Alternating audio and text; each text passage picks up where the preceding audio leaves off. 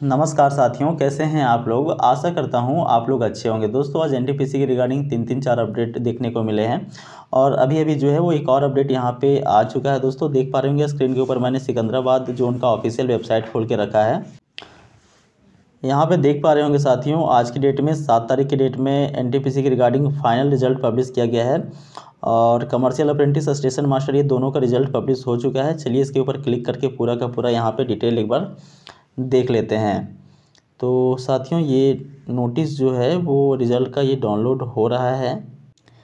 तो दोस्तों स्क्रीन के ऊपर देख सकते हैं, ये नोटिस पूरा का पूरा डाउनलोड हो चुका है। Railway recruitment board Secunderabad final result part one central employment number एक दो हज़ार उन्नीस एन लेवल सिक्स और इसमें कैटेगरी नंबर वन और कैटेगरी नंबर दो, यानी दोनों का रिज़ल्ट यहाँ पे पब्लिश कर दिया गया है दोस्तों।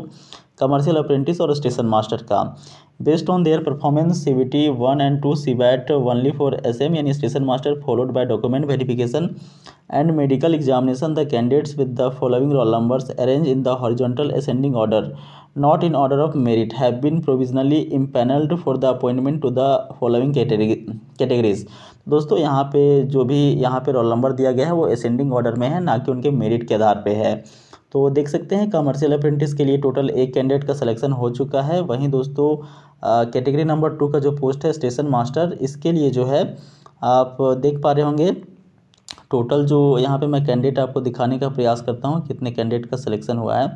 साथियों टोटल चार सौ अंठानवे कैंडिडेट ऐसे हैं जिनको स्टेशन मास्टर के लिए सिलेक्शन जो है वो हो चुका है।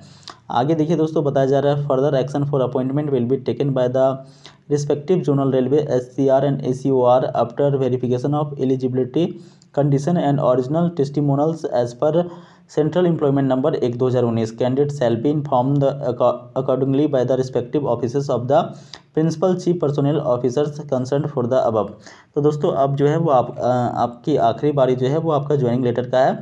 सो so, ये जोन वाइज अपना अपना जो है वो ज्वाइनिंग लेटर आपको भेजने वाले हैं ठीक है?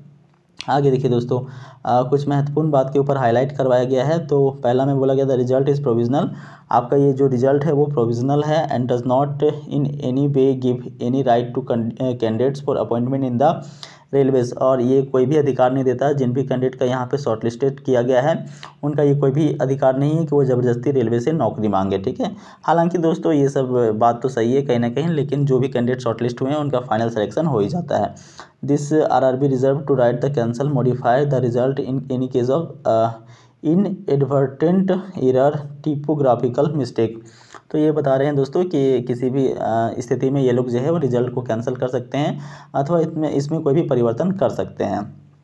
The appointment of any candidates found using unfair means और यहाँ पे बताया जा रहा है दोस्तों सेकेंड पॉइंट के अंदर जो अपॉइंटमेंट है आ, वो किसी भी गलत तरीका से यदि कोई भी कैंडिडेट यहाँ पे सेलेक्ट हुए हैं तो ऐसी स्थिति में to get selected shall be cancelled summarily and action will be taken as per law बोला जाता है बोला गया दोस्तों कि अगर कोई अनफेयर तरीके से सेलेक्ट हो गए हैं तो उनके खिलाफ़ यहाँ पे कानूनी कार्रवाई की जाएगी और जो भी उनका कार्रवाई होगा दोस्तों उनके खिलाफ़ किया जाएगा।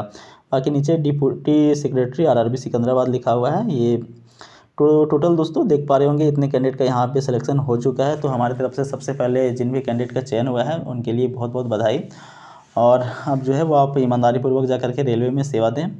उम्मीद करते हैं साथियों ये जानकारी आपको अच्छी लगी होगी। जैसे ही दूसरे बोर्ड का यहाँ पे पैनलिस्ट आता है अथवा टाइपिंग रिज़ल्ट आता है, मैं यहाँ पे आपको सूचित कर दूँगा। मिलते हैं दोस्तों अगले वीडियो में, तब तक के लिए नमस्कार।